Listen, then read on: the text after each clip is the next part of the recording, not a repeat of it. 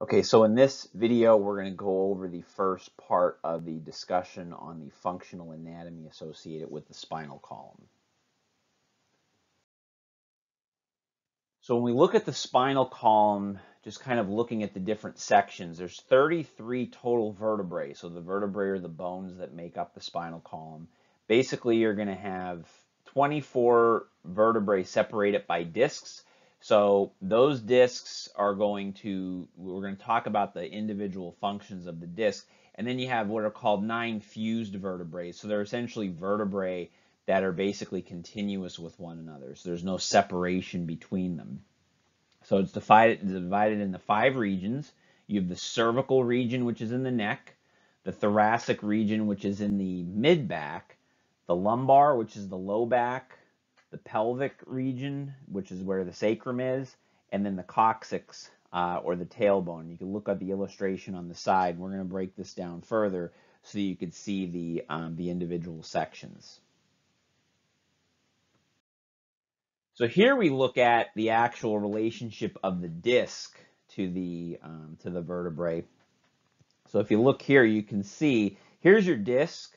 Okay, now the disc is actually composed of two, of two parts. You have the outer portion, which is known as the annulus fibrosus. So that's kind of the uh, portion that gives structure to the outside of the disc. And then inside, you have the nucleus pulposus, okay, which is the more watery type uh, portion of the disc, okay. So some people liken the disc to very similar to a jelly donut, okay. Now most of you have probably heard of a disc herniation. So a disc herniation is essentially, and there's different levels and types of, of herniated discs. But basically what happens is the disc somehow gets distorted and it usually involves some amount of displacement of this middle portion of the disc. You can also get a degenerate, degenerative disc where the disc actually breaks down and loses its um, liquid portion to of it as well, um, which then that can create some, some low back issues. And you see how that separates the individual vertebral bodies. If you look down here, you could see it in relation to the, the nerve roots. Now, we're not going over much of the, the neural anatomy in this class, but you can see how if you have, here's your, here's your different uh, nerve roots coming out of your spinal nerve. So you can see how that kind of breaks down as well. But you know the what happens with a disc herniation, you can see here, you can see the spinal nerves coming out at the disc somehow herniates and puts pressure on that, you can get some uh, neurological symptoms associated with your with your injury. So here's the spine and the different regions. Okay, so you have, if you're kind of following here, you have your cervical vertebrae, that's C1 through C7. You have your 12 thoracic vertebrae, so T1 through T12. You have the five lumbar vertebrae, L1 through L5.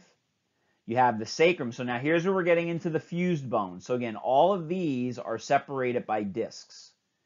Okay, so you have that fibrocartilaginous disc in between each one of the vertebrae. Once you're down here at the sacrum, they're fused. Okay, and there's five sacral vertebrae. And then you get down to the tailbone or the coccyx, there's four fused bones. Okay, now I will tell you this, sometimes you will look in other textbooks and they'll give you anywhere from three to five coccygeal vertebrae. We're just going to go with four um, for, for the purposes of our discussion, but you can see some variation to that in other textbooks.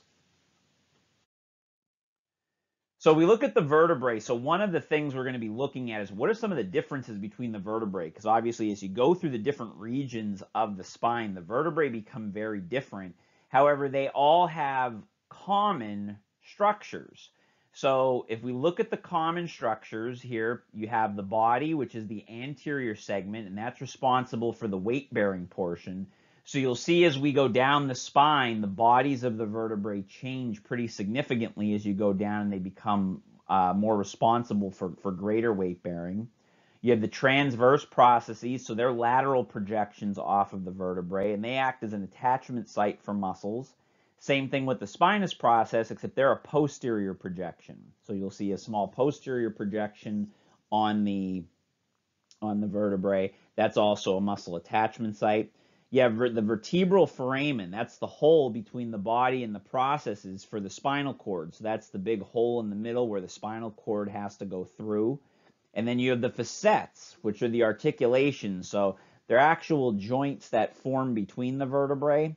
So besides the the uh, the joint where the bodies come together, there's also the facet joints, which is on the posterior aspect of the of the vertebrae, and they have each vertebrae will have both a superior and inferior articulation off of that process.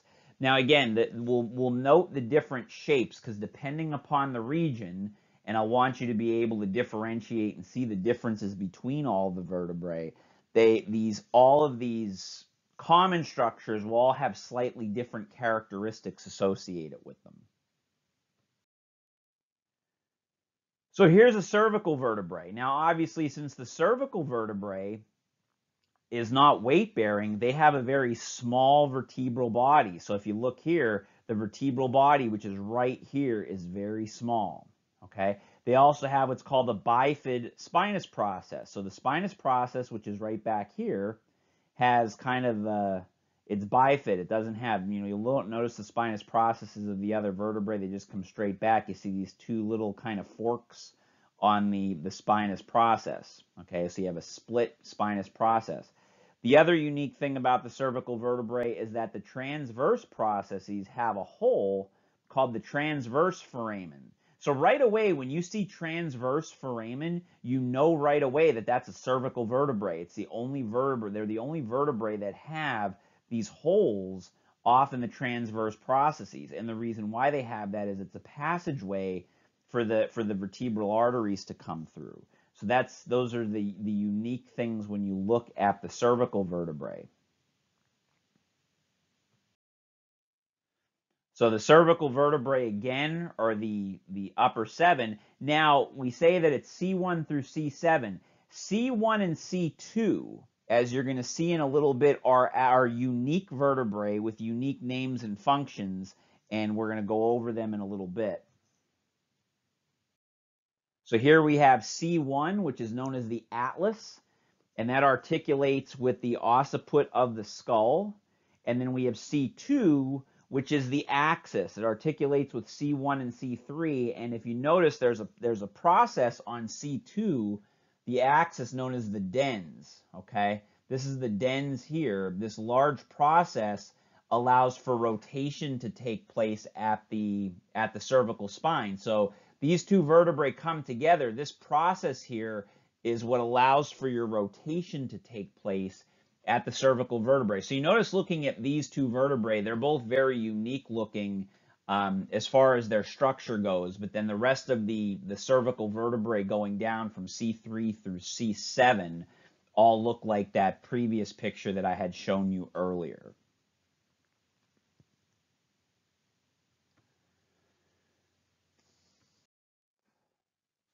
So if we look at the thoracic vertebrae, so moving down the spine, so the thoracic vertebrae have slightly larger bodies. Again, the, the, the size of the vertebral bodies are going to increase in proportion to the weight that they that they have to bear.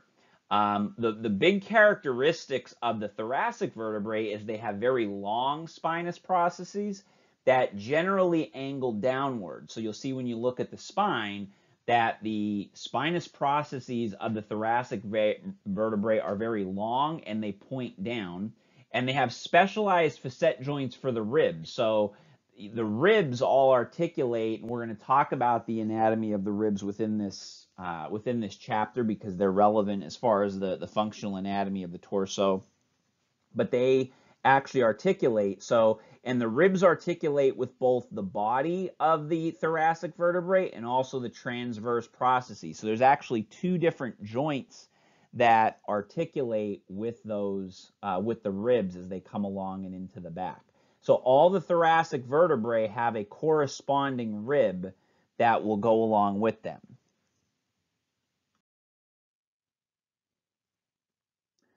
So again, there's 12 thoracic vertebrae, so you can see in the picture here what the thoracic vertebrae look like.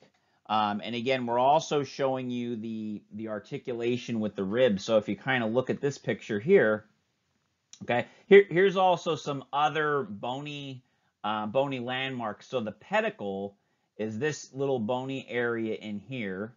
So make note of that. Again, here's the here's the vertebral body. Notice they're getting much larger. Okay, you could see where the ribs articulate as well.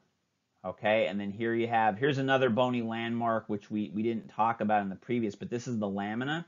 So the lamina is between the transverse process and the and the spinous process. Here's the spinous process here. You'll notice that it's not bifid anymore. Here's a here's a transverse uh, or here's a thoracic vertebrae up here. Here's your spinous process. It doesn't have that bifid appearance.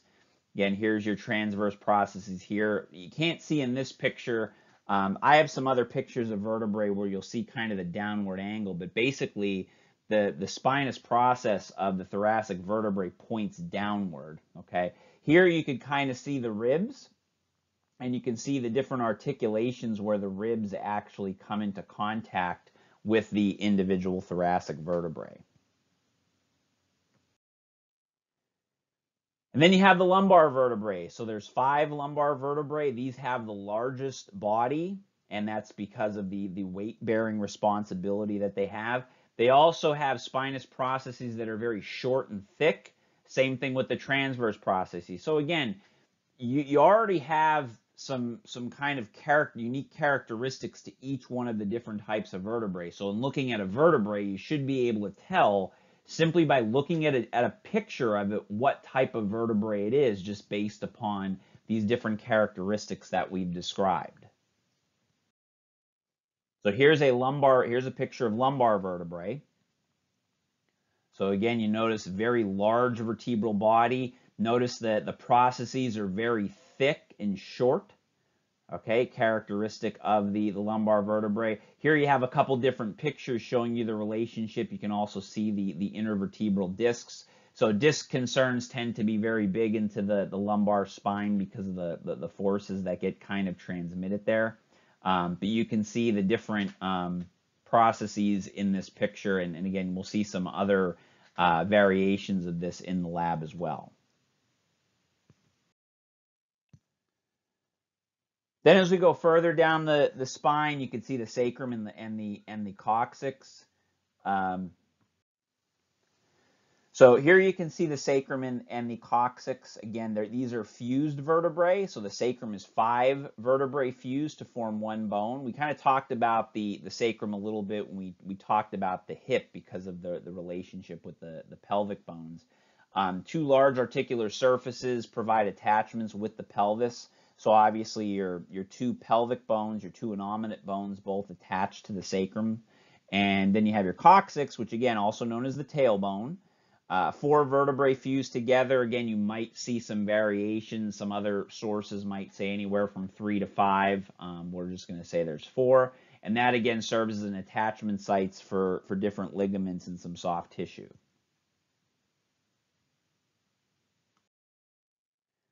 Then here's your intervertebral disc. So a little better picture here where you can see the different parts of the intervertebral discs. Um, so these are cartilaginous discs that form between each vertebral body. So the intervertebral joints, there's basically two joints at the spine, you know, where the vertebrae come together. You have the intervertebral joint, and that's the joint that's filled with the disc. And then you have the facet joints, which are come off of the, the articular processes on the back part of the, the vertebrae. So when you look at the discs, you have, again, your two parts. You have the outer ring, which is the annulus fibrosus, so that's the tough, fibrous outer part. And then the inner part, which is the nucleus pulposus, which is very fluid-like. Okay, and again, those discs are there to provide some shock absorption. Obviously, if there becomes trauma to the disc, that's when the disc could change shape. It could degenerate. That inside, that nucleus pulposus could leak out. Um, and you know, depending upon the, the type of injury or pathology that you have. But this disc form or fill the space in between the vertebral bodies. So you can see that right in here. Again, that's the intervertebral joint.